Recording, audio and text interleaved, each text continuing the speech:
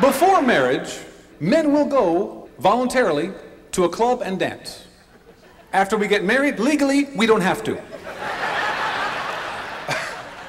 now, every time my wife asks me to dance, I go, wait a minute, let me check my schedule. Oh, look, we're still married. Look. So we had to compromise. In my house, that's the art of doing what my wife wanted to do in the first place.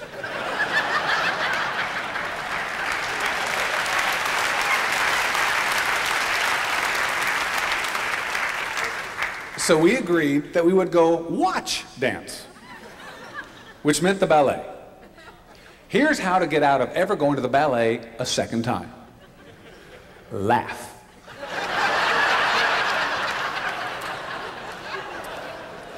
I did not mean to laugh. It just struck me funny. These guys in ballet are not normal. Their butts start up here, okay? That's where they start, right there. You can sit glasses up there and they will stay.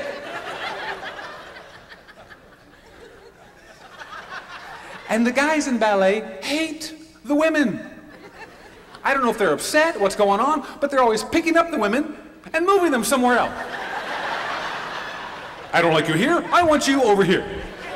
You should go over here. The women have got to hate this. Excuse me, I just walked on my toes to get over there. And now I've got to do it again. And so the women, they join forces, they link arms, and they go as a little group. But the men just wait for the weakest one to break off from the herd and they move her.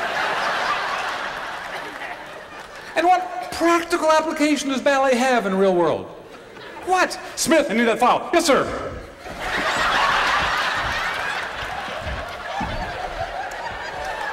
And when they leave ballet, watch this. One arm is always like this. It's always like that.